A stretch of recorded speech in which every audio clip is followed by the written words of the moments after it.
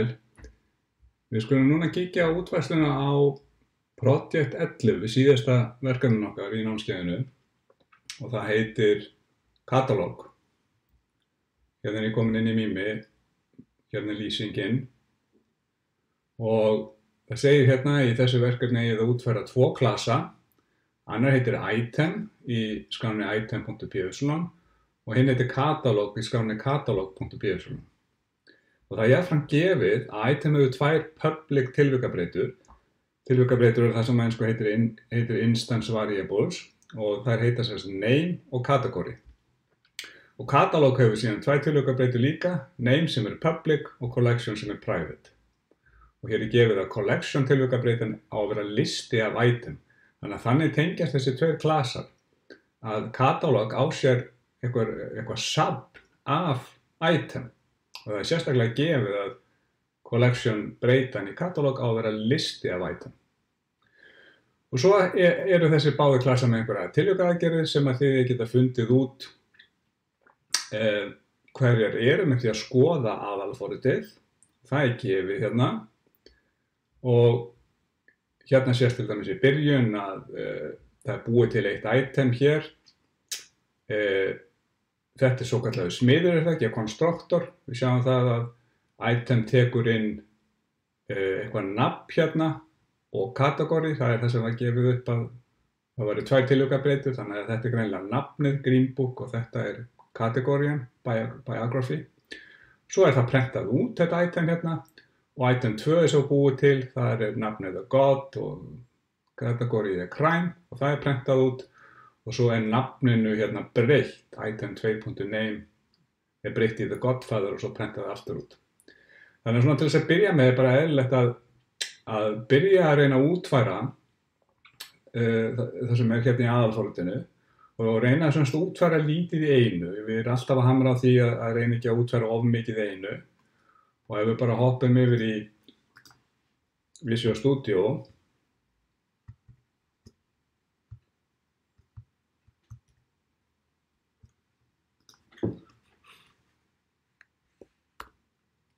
Svona.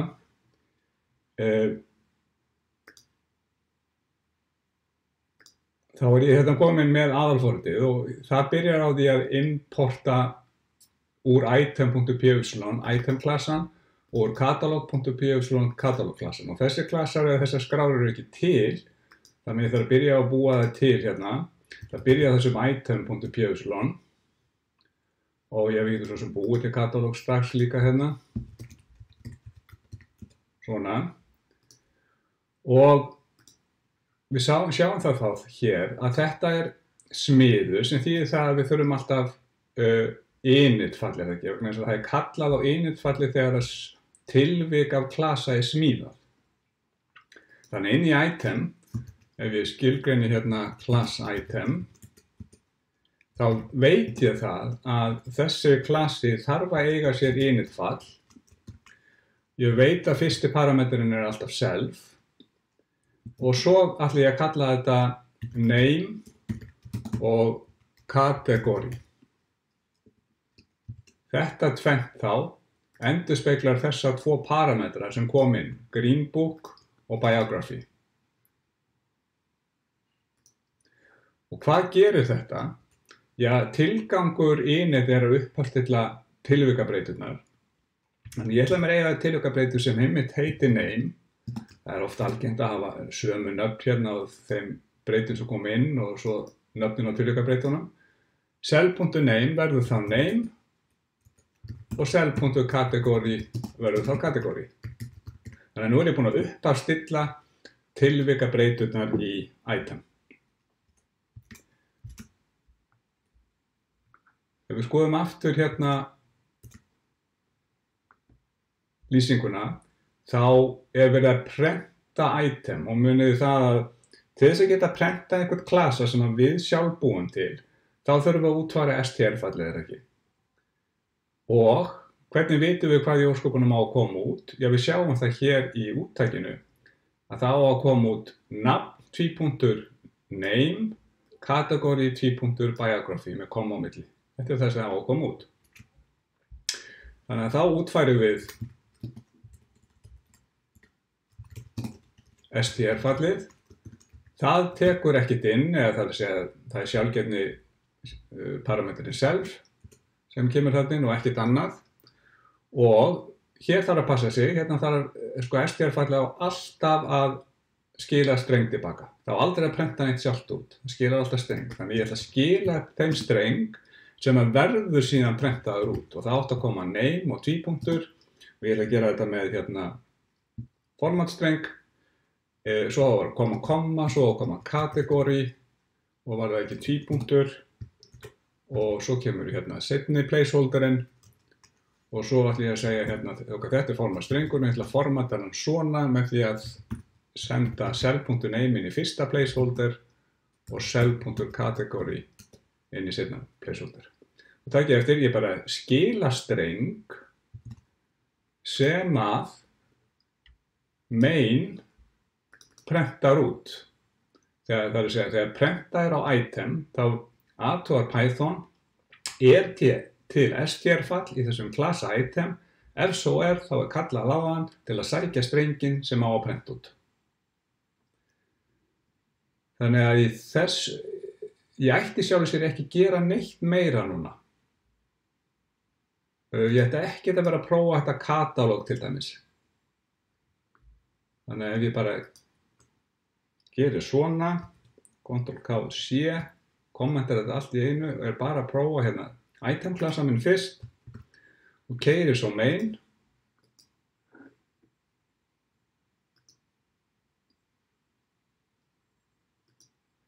Já, þá gæti hún reyndar ekki importa katalóg að því ég er ekki búin að útfara hann. Ég gæti svo sem gert bara svona hérna, class, katalóg og sagt bara pass hérna sem þýðir bara engin útfærsla í augnablikinu, gengur það ekki. Jú, þannig að nú sjáum við name green book, category biography, name the god, category crime og hverju var þetta? Jú, vegna þess að það er item nr. 2, ég prentaði það út hérna. Svo breytti við nafninu og item 2.name saman sem godfile. Hvað er eitthvað að gerast þar? Það er verið að breyta nafninu hér og það er hægt vegna þess að nafnið er public. Þetta er public breyta. Það þýðir að klasi, eða utanákomandi aðil sem í þessu tilviki er aðalfóritið, getur komist í breytun og breytinni. Það er það sem gerist hér. Item 2.1 Godfather, svo er aftur prentað út og þá hefur the God breyst í the Godfather. Svo kemur item 3, það er nafnið í Schindler's List og kategóri Biography. Það er prentað út og þá fáum við Schindler's List kategóri Biography og svo er kategóriinu breytt yfir í drama og það er sama ástæða kategóri er public í klassanum item og þá hefur kategóriðin breyst í drama. Þannig að þetta virkar allt saman hérna. Þannig að þetta var nú tiltálega einfalt. Nú, hvað er það næst sem, sem við þurfum að geta gert? Við þurfum að geta búið til tilvik, smíða tilvik af katalóg og þar var sagt hvað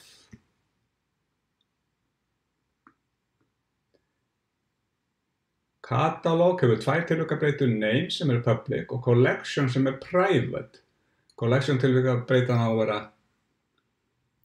uh, listi af items.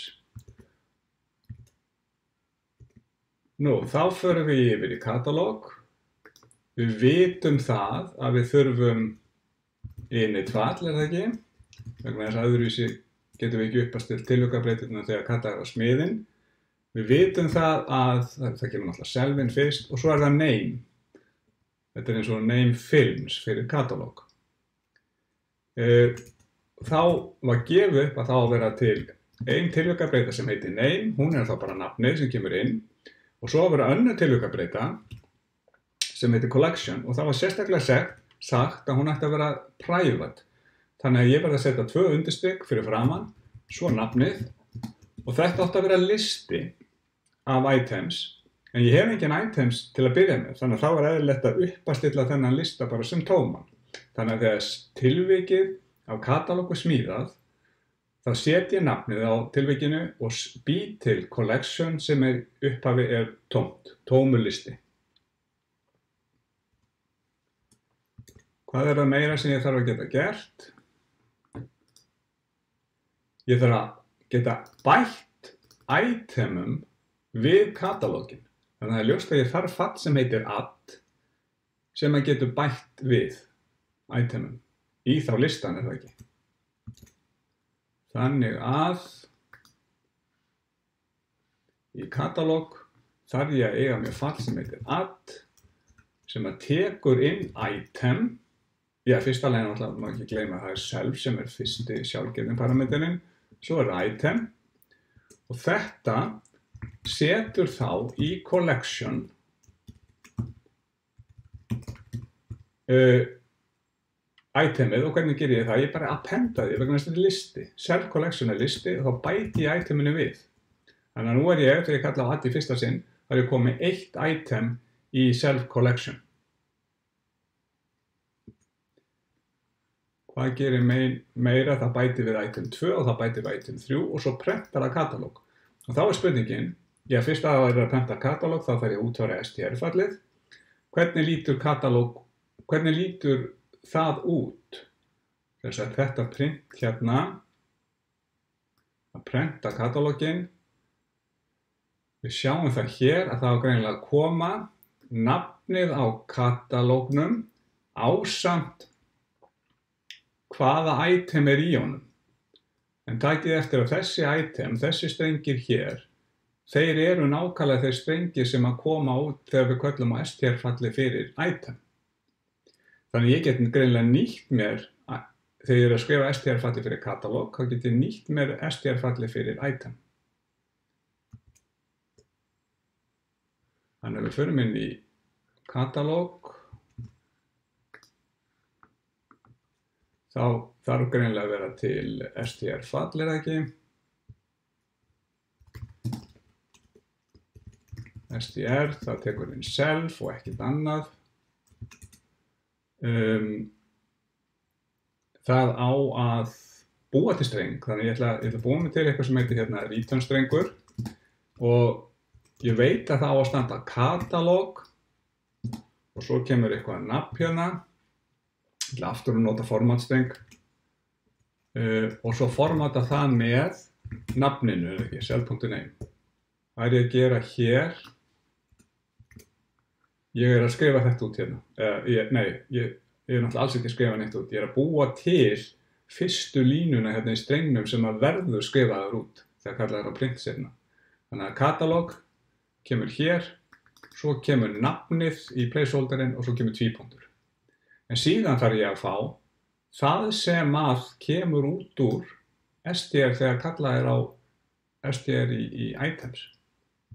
Og þá, ég, þessu, ég get verið með mörg items og ef við skoðum aftur hérna í aðalfóruðinu, þá er verið að bæta þremur items við, þannig að ég mun prenta út þrjár línur eða ekki, að skila streng sem að uh, inniheldur þrjár línur.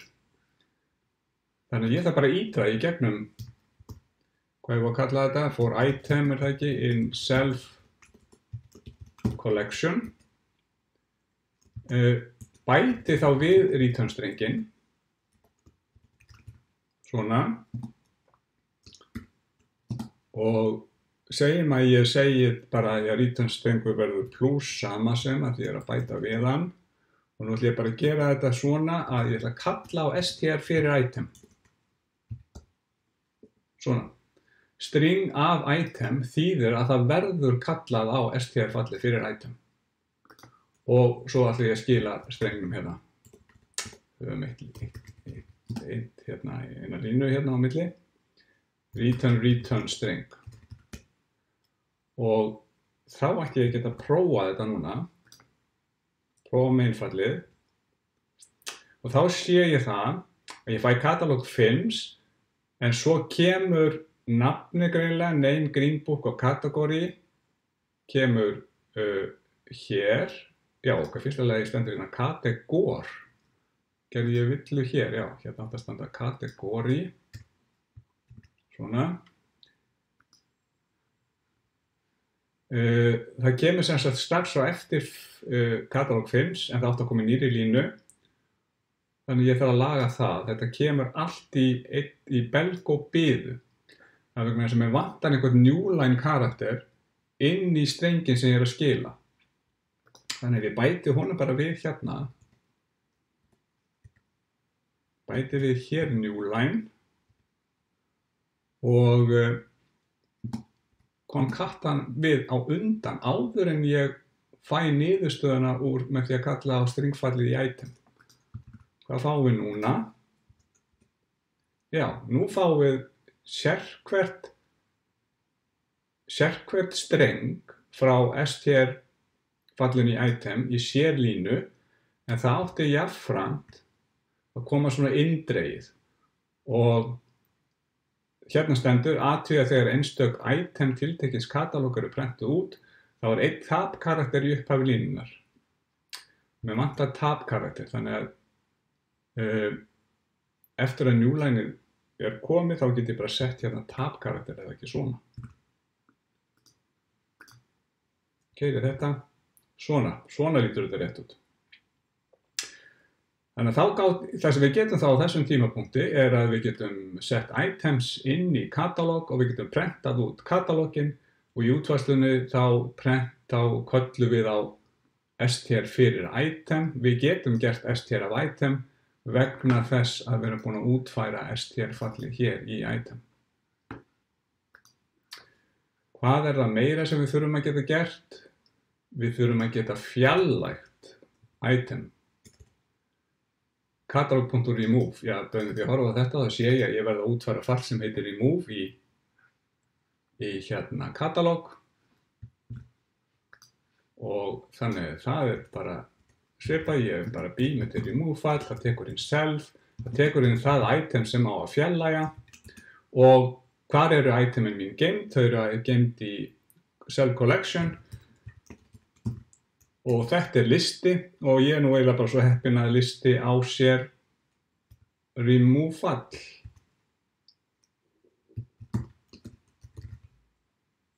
þannig ég get bara kalla á ég, ég læti listan útfæra þessa virkni fyrir mig. Þetta er item 2 sem er hvað, Godfather eða ekki? Þannig ef ég keiri þetta núna. Þá séu við að þegar ég prenta út í annað sinn þá er þetta item hérna, The Godfather og Crime, kategóri Crime er horfið. Akkurat það sem átt að gerast. Hvað er það næsta? Ég þarf að, já hér er verið að breyta nafninu á katalóg. Það er hægt vegna þess að katalóg er með public nafn, alveg eins og nafnið var public í klassanum item þá get ég þetta, hins vegar get ég ekki breytt collectionu vegna þess að það er private. Þetta get ég, eða á að geta gert við getum sannreint það með því að keira núna main. Þá er katalógnafninu breytt í favorite movies. Þið sjáu það var films en núna það favorite movies þannig að þetta virkar. Og síðan er hér eitthvað sem heitir katalog find item. Þannig að það er greinilega fall sem á að finna þetta item hérna sem, sendist, sem kemur inn í þessu tilki greenbook og svo er það prentað út. Þannig að það er ljóst að find item á að skila iteminu tilbaka. Þannig að við þurfum að útfæra fall sem heitir find item í katalog find item, enn og aftur kemur self sem fyrst í sjálfgettin parameter, við erum að leita þessu itemi. Hvernig getum við fundið það? Já, við getum til dæmis bara ídrað í gegnum okkar collection. Collection er listi, ítrum í gegnum hana fyrir sérkvæmt item í collection. Ef að item nafnið, og að ég get gert þetta vegna þess að enn og aftur name er public í item, ef að nafnið er sama sem uh, Nei, fyrir ekki, er ekki, það er ekki item sem kemur inn hérna, það er name. Bara þess að vera við sem við skiljum þetta. Sjáu það er nafn hérna, þetta er strengur sem kemur inn, það er ekki item sem kemur inn, það er strengur. Þannig að ef að nafnið sem ég með í höndunum í sérkveri ídrun er sama sem nafnið sem kemur inn og þá veit ég að ég er búinn að finna það er ekki? Þá get ég bara skilað iteminu annars ef ég, ef ég það finnst aldrei þá skilum við bara non hérna. Það er svona algengt að skila non ef eitthvað finnst ekki. Og þá í main er verið að leita Green Book og það er verið að leita Godfather. Og skulum sjá hvað við fáum út af þessu.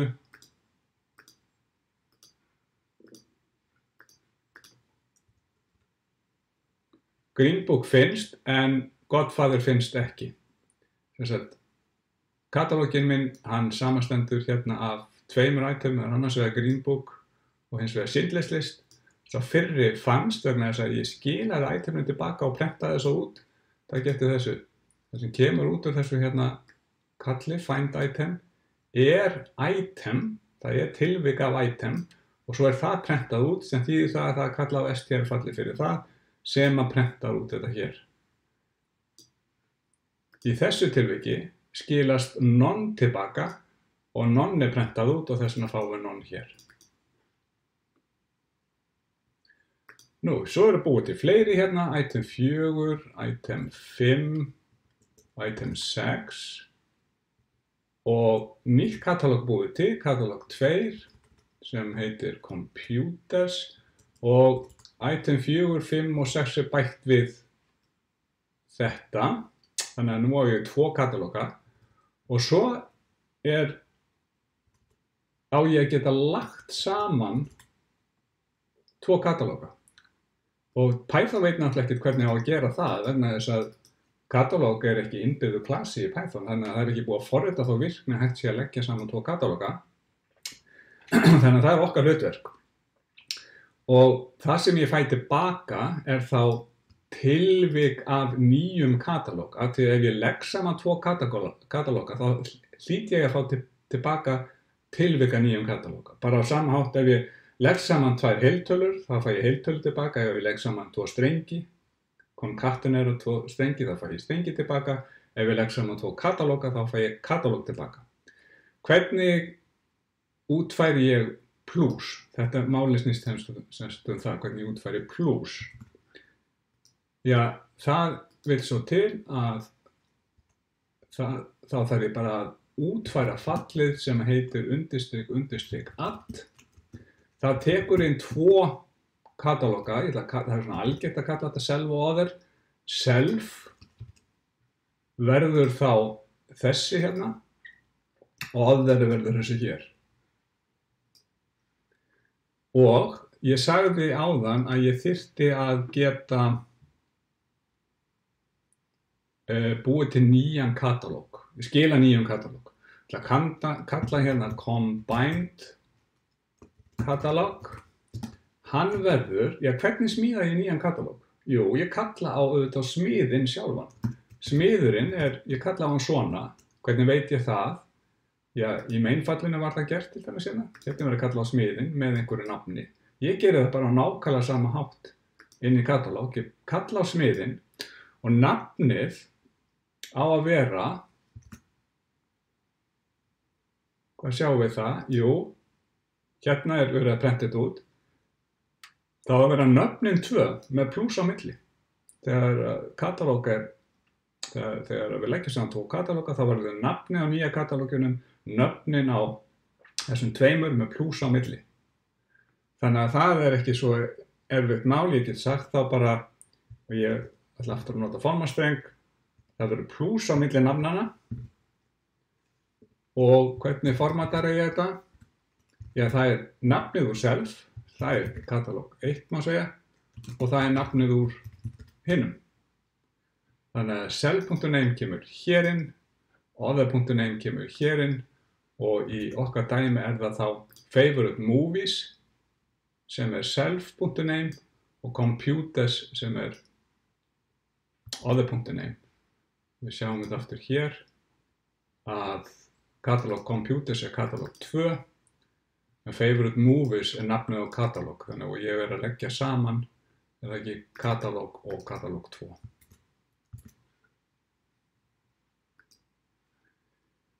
Þannig að nú er ég búinn að búa til Combined Catalog en mér vantar itemin. Öll itemin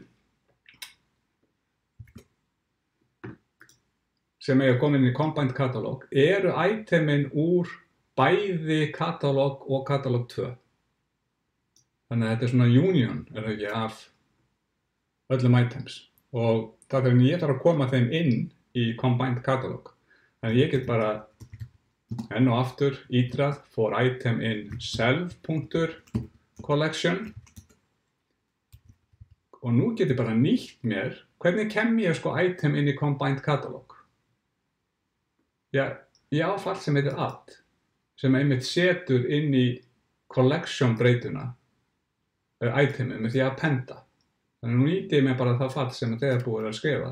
Combine Catalog, adda ég iteminu við og þá þarf ég bara að gera nákvæmlega sama hér. For itemin self, nei ekki self, heldur other collection combined catalog.add item og hér þarf ég bara að lókum að passa mig, ég þarf að skila þessum combined. Vegna þess að þegar ég legg saman tvo katalóga þá nýðust það hann að vera katalóg. Og ef við prófum þetta núna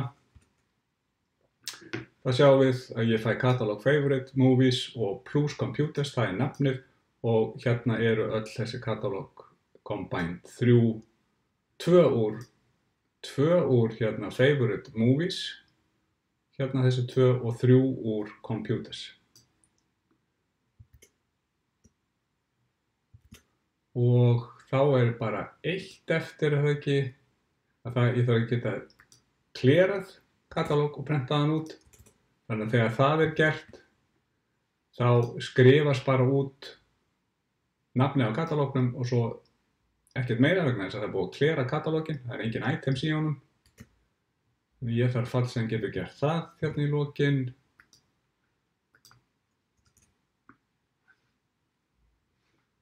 Um, þannig ég þarf fall sem að, sem að heitir þá clear, það getur einhverjum self, það getur einhverjum ekkert annað og það þarf að cleara collection.